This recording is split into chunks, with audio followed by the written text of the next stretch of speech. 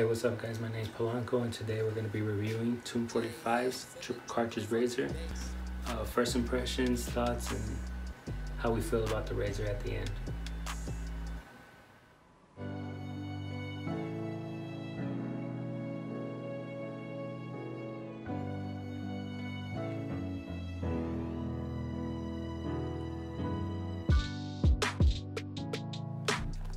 Alright guys, here's a first look at the Razor from Tomb 45.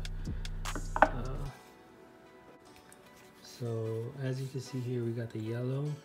Unfortunately, they were sold out of every other color except pink and yellow. So I went with the yellow and uh, overall I was a little bit afraid of the yellow, but uh, now seeing it in person, I really like the yellow and it's bright, it pops, it's different, it's gonna stand out in the shop and you know clients are gonna look at it and they're gonna see something different, you know.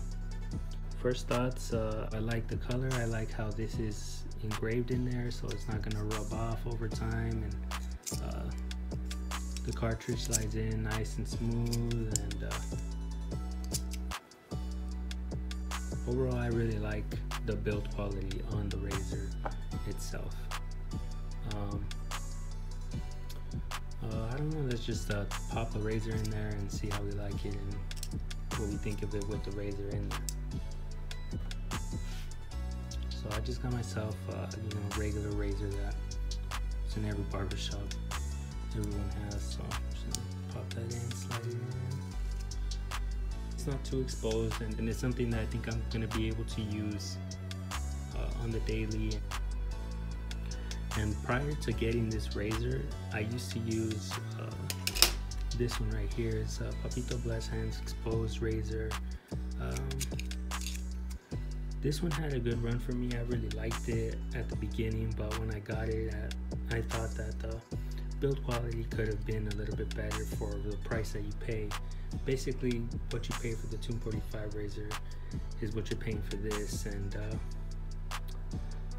it just feels like a Sally's razor and anything that you can, you know, it just feels like a cheaply made razor at a premium price. So don't get me wrong, I did like this razor a lot and uh, it had a good run for me and I just thought it was time to upgrade, you know. So what better to upgrade with than the Tomb 45 triple cartridge razor. And uh, I know you guys can't smell camera, but believe me, this thing smells so good. Like, I just, it smells really good. It's hydrating for the skin and uh, it will just benefit the client's skin, so that's awesome. Uh, definitely excited and can't wait to use these and put them to good use.